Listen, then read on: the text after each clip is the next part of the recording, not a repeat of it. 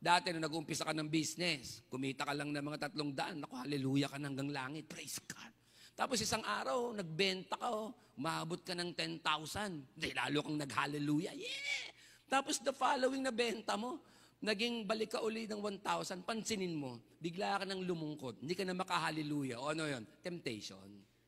Sino ito gustong yumaman? Pakitaas po kamay. Kayo mga nanonood. Sino ito gusto yumaman? Gusto yumaman? Ang pinaka-best na alam nyo ano, para hindi kayo bumagsak sa temptation, that always when God bless you, number one, you give glory and honor to God. And number two, let's bless other people. Sapagkat ang buhay natin ay hindi pera. Ang buhay natin ay sa Diyos lang. Maliit ang kita, we give glory to God. Lumaki ang kita, we give glory to God. Lumiit uli, we give glory to God. We must be faithful in small things, in simple things, so that God can give us supernatural things. Pag sanay ka na maging faithful sa maliit at nai-enjoy mo na ang maliit, ang Diyos, pinapalaya ka na sa pagmamahal sa pera.